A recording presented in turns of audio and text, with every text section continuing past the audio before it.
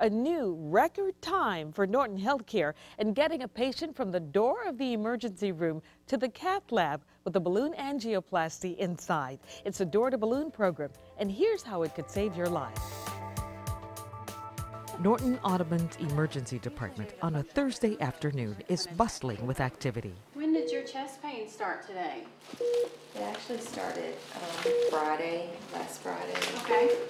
and it just continually um, didn't go away. They see hundreds of patients with symptoms of heart attack. And when that happens, a new program called Door to Balloon gets patients from the emergency room door to the cath lab to have their heart fixed in record time. Door to Balloon is an initiative to um, obtain treatment for a patient that presents to the emergency department with a heart attack um, and receive treatment for them and um, restore blood flow to their heart under 90 minutes from the moment they enter the hospital or come into the emergency department.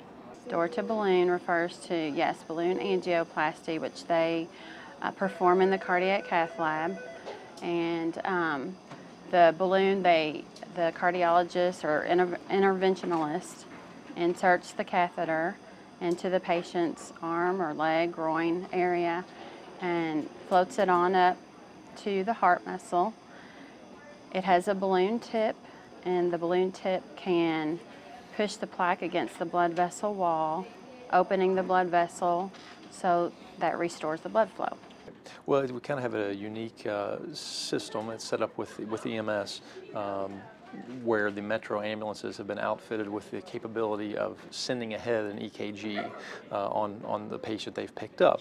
So if they have a patient that's having chest pain, uh, they're able to do the EKG there in the ambulance, and if it is suspicious for uh, for a heart attack or uh, what we call an ST segment elevation myocardial infarction, they actually can send that EKG ahead of them, and it prints out on our fax machine here, and also uh, an alert shows up on our computer. Norton Healthcare has been a national leader in meeting the door to balloon standard of 90 minutes and actually beating that time.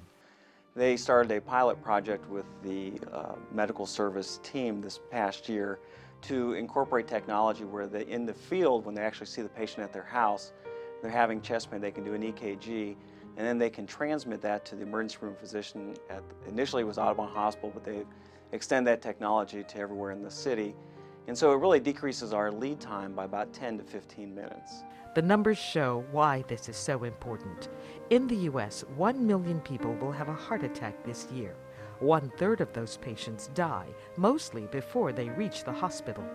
50% of those deaths occur within one hour of the heart attack, but with programs like Door to Balloon, the death rate from heart attacks has declined 30%.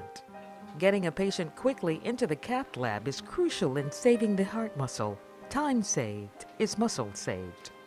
What we found and what the saying is uh, in the healthcare field is that time is muscle.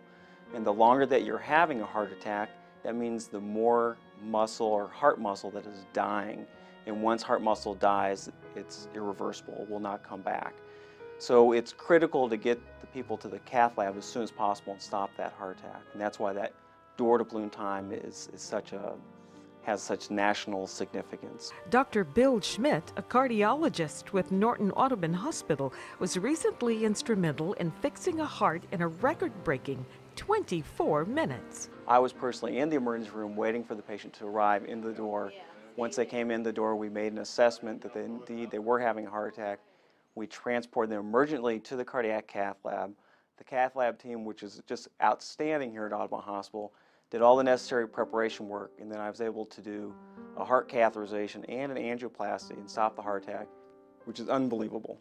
It's fitting that this record door to balloon procedure in 24 minutes happened at Norton Audubon, a hospital that has a long history of medical breakthroughs in heart care. It has a very long and rich history, and that's something that's uh, attracted me to come from Emory University uh, to this facility uh, to work, and it's attracted some very talented uh, cardiologists and cardiac surgeons. And we also have excellent internists here as well, uh, making a very comprehensive cardiac